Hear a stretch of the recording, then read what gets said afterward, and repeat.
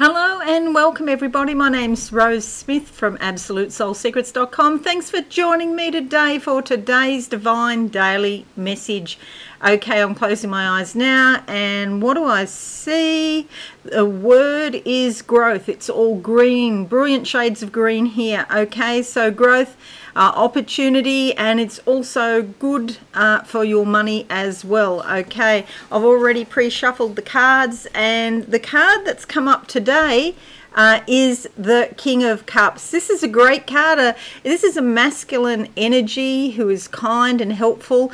Uh, it's someone who has succeeded in life and now is content and peaceful about what he has achieved. Okay, so blessings to you. Have a wonderful day, everybody, and I'll catch you later. Bye for now.